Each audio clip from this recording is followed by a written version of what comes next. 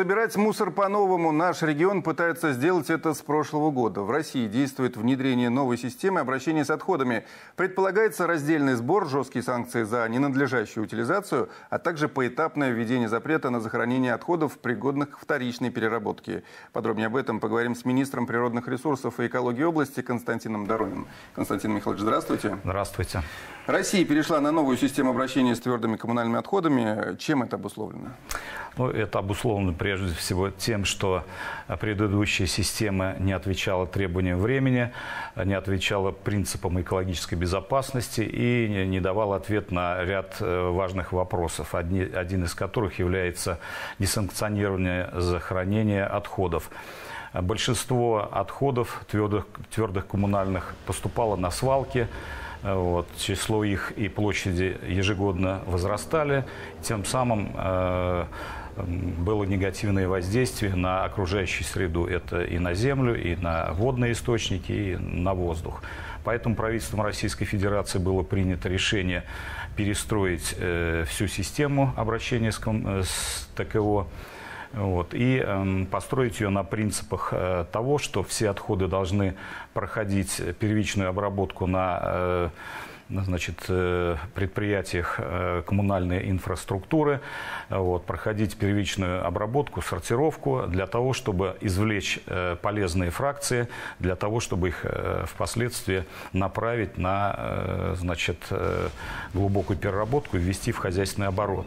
Также одним из принципов является уменьшение количества захоронений отходов. То есть чем больше мы перерабатываем, тем меньше захораниваем. Ну исключить несанкционированное размещение отходов. Вот основные принципы. Но, насколько я понимаю, все это не быстро и требует больших вложений. Да, действительно. Ну, начну с, э, с того, что э, с 1 января э, прошлого года э, все регионы Российской Федерации должны были перейти на новую систему. Саратовская область пере, перешла на новую систему, начала переход чуть ранее. Это, э, был, э, это произошло в августе 2018 года. Значит, была разработана территориальная схема обращения с отходами, был значит, определен региональный оператор. И на сегодняшний день у нас две зоны деятельности регионального оператора. Первая зона – это в основном левобережные районы, плюс значит, Вольский, Хвалынский район и город Саратов. В первой зоне сформирована система значит, коммунальной переработки были построены три мусороперерабатывающих завода в городе Энгельсе, Балаково и в Саратове мощностью 380 тысяч тонн в год. Также были построены 19 э, мусороперегрузочных э, станций и новый полигон в городе Энгельсе мощностью 350 тысяч тонн.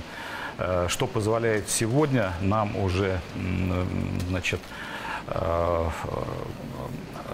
отправлять отходы на вот, предприятия обработки до 80% отходов, которые у нас образуются в Саратовской области.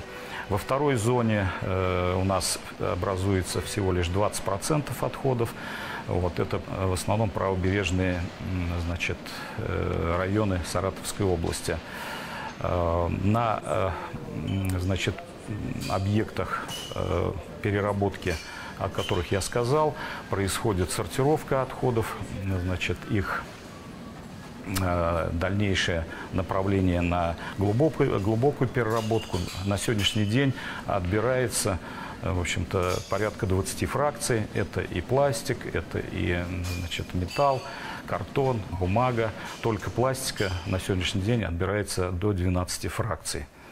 И все это, соответственно, отправляется на глубокую переработку. Ну, то есть, насколько я здесь понимаю, здесь, соответственно, к, к этому должны подойти и сами саратовцы, жители нашего региона, чтобы осуществлять разборный э, сбор мусора, если можно так сказать. Да? У нас на, в городе появились уже разноцветные баки, на которых написано, что для чего нужно, но я так понимаю, осознание того, что нужно это делать, пришло еще не ко всем.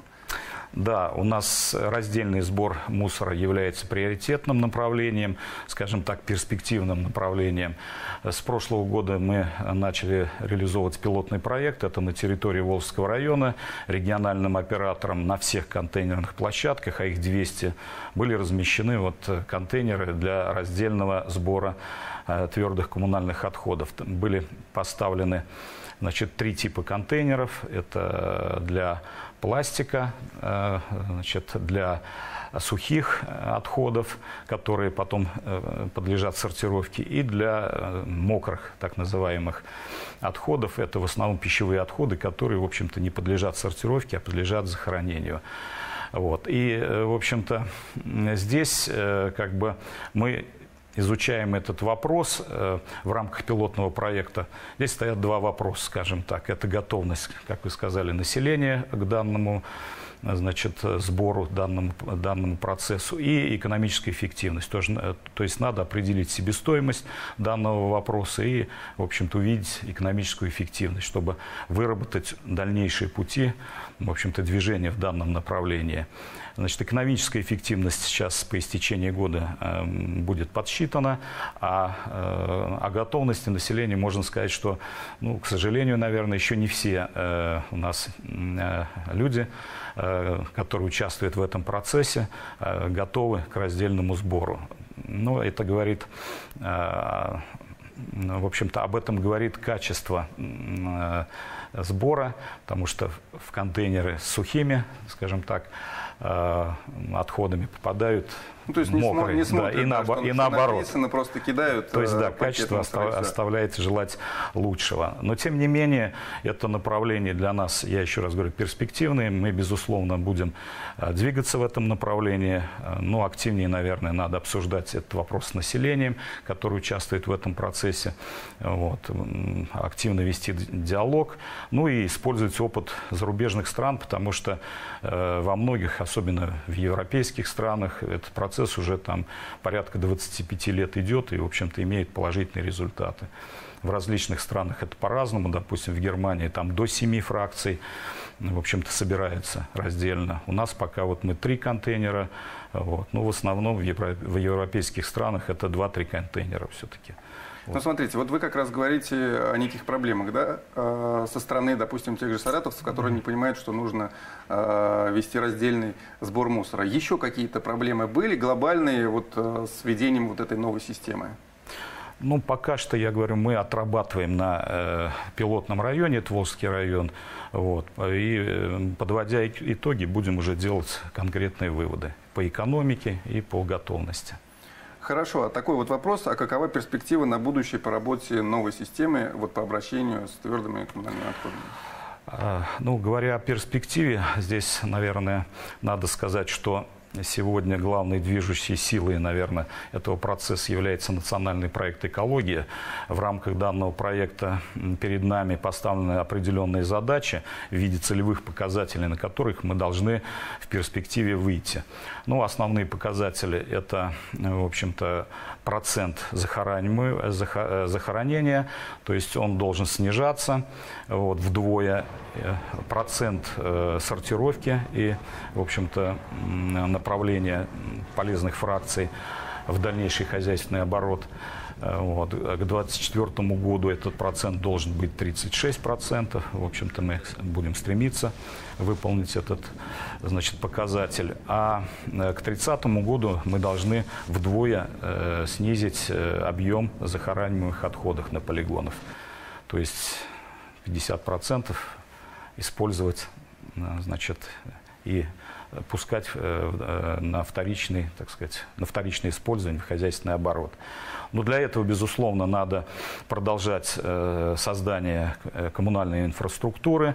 Вот. Я уже о первой зоне говорил, что у нас здесь три предприятия созданы современных.